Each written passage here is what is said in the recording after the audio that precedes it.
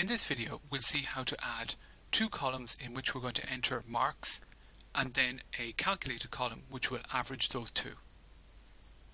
To add a new column to enter marks for a test or an assignment or any other piece of work that you're going to mark independently, click on Create Column, give the column a name. In this case we're going to enter marks for two tests, test 1 and test 2.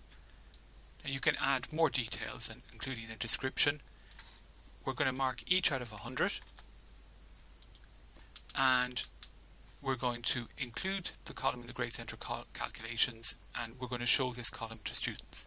Again, if we click no here, students won't be able to see the marks we enter and we can later come back and edit and make this available. But for the moment, we'll allow students to see the marks. So we now have a new column, test 1. We're going to create a second column. We'll call this test 2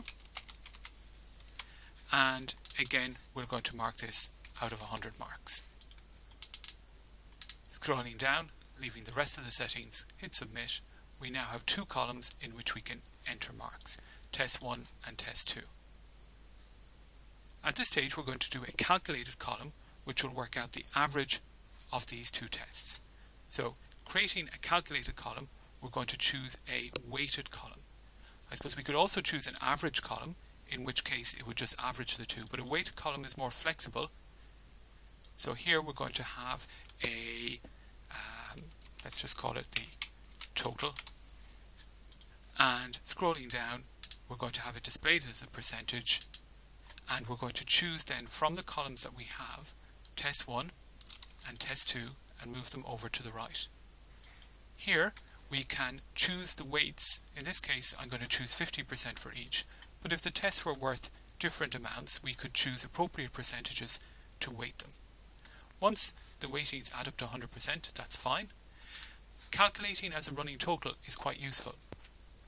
A running total includes items that we have, but it will either work it out as an average of the items for which there are marks available, or as um, an average of all which assumes that 0 is if there's no grade. So if we've entered a mark in test 1 but not in test 2, the running total will just give the value for test 1, whereas if we have it off, it will average it with an assumed 0 for test 2.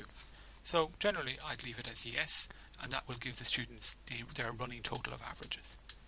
Again, we'll make the column available for students, hit submit, and now let's enter some marks just to see how it would work for students. So here if we take, um, say, Joe Soap, and we enter 50 for Joe uh, in test 1, and we enter, say, 70 in test 2, so we can see that the average mark here is 60. If we change test 1 back down to 40, we can see now the average has dropped to 55%. One thing that's quite nice is if you want to look at the grade details, you can look at it in more detail.